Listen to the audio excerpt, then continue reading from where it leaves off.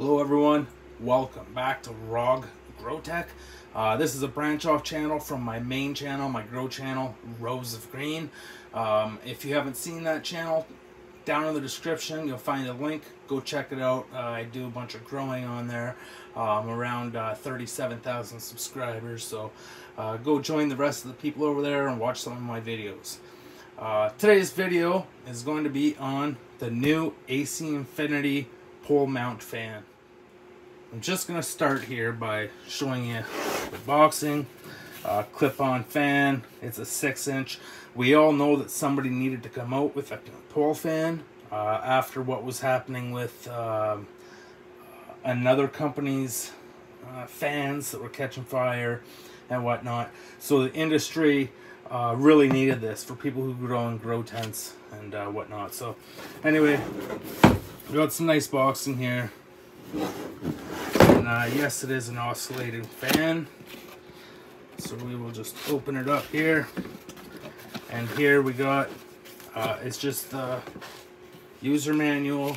And uh, it just goes through, tells you about the fan and uh, everything you need to know. Uh, it comes packed fairly well. Some foam here.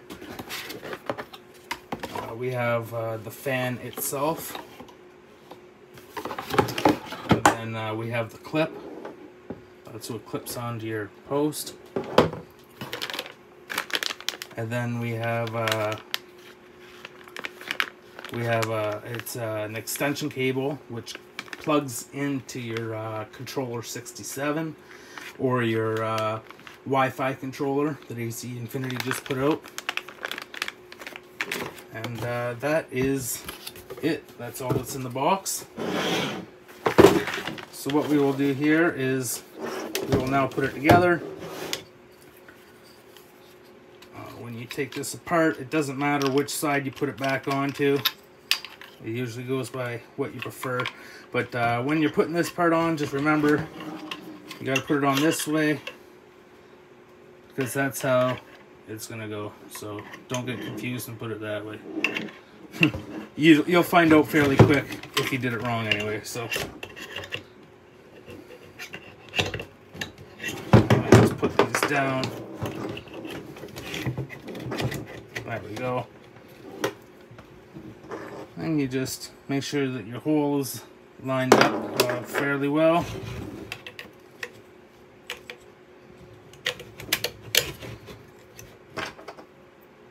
Then you got little slots there that you want to line up here.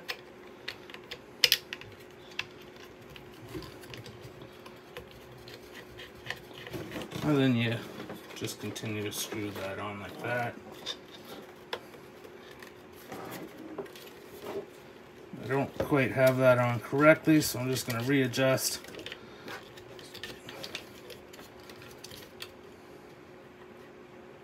I apologize. I'm making this look more difficult than it actually is. It's not, uh, this is not difficult at all. I'm just uh, a dummy.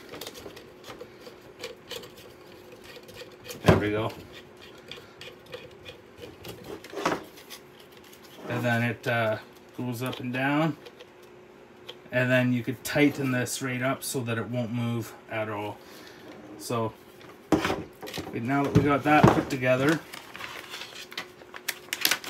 I'll show you what comes in here. And uh, this here is your power cord. Uh, it plugs into the back of the fan.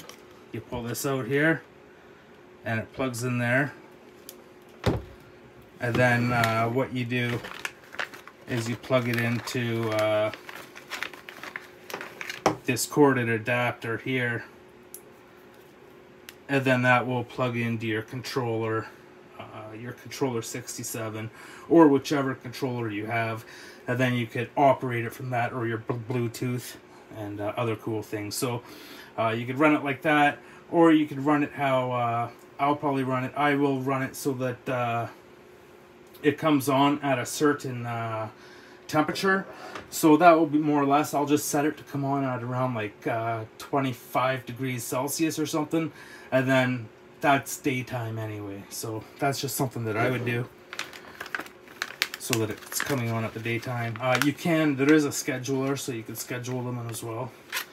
Uh, then it just comes with a couple of these extra things, and uh, if you know what these are, these are just for tying up cords, getting them out of the way. Uh, comes with one of these as well. Uh, that's something that you like stick to the wall, and then you stick this zip tie through, and then uh, you put your cord through it just to keep things nice and tidy. But uh, that's it. Let me mount this up now, and we'll go through the stages of how it works. So I'm just going to go here and just show you our speeds that we have. So you have uh, 1 to 10. So it's actually a really, a really nice fan that we have because if you just need it nice and low, just to blow some humidity around or something, uh, it, it's excellent for that. But uh, then we crank it up like that and you can see the lights light up as we go and the thing with this thing is they shut off automatically so that you're not putting light into your grow tent. See that? How it shows they shut off after like 10 seconds? So that's uh, awesome. But what I'm gonna do here now is I'm gonna just pole mount that.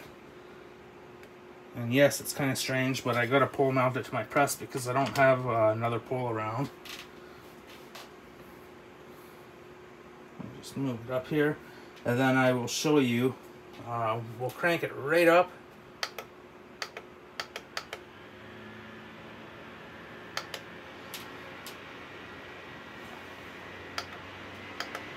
And I will tell you this thing has got some power.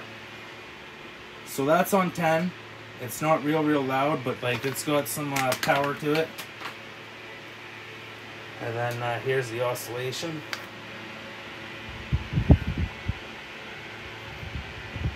Uh, you can see it does not slow down and speed up as it uh, oscillates like many of the other cheaper fans do. Uh, that's putting a lot of pressure on the motor when they do that and that I think had something to do with why they were catching fire. That and uh, bad wiring. But uh, we have this here. This saves the day. So I'm just going to stop it here. I'm going to turn it down. So there we go, it's turned down. And then another way, another thing that you could do is to turn it completely off. You just hold this for four seconds. And that turns the whole system off. And then it's not in play with uh, anything, with your controllers or anything. And then to get it going again, you just simply click the button. There we go. So uh, compared to my other fans, I will probably run this on like the 5 setting or 6 setting because it's really got some really good power to it.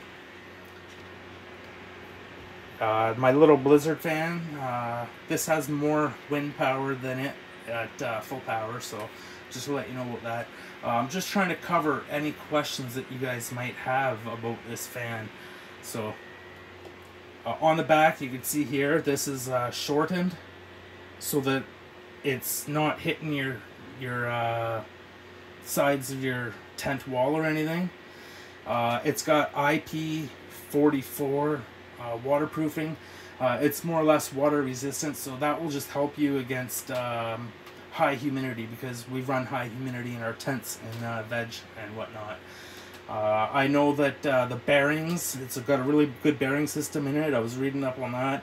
Uh, they're good for up to 67,000 hours. So that's like over uh, seven and a half years. Overall, it's a very nice fan. There's not even a need to be pulling off this front cover because of the airflow coming through here. But anyway, that is the review of the Cloud Ray S6 by AC Infinity oscillating pole mount fan. Hope you guys enjoyed this video and we will see you guys in the next one. Peace out.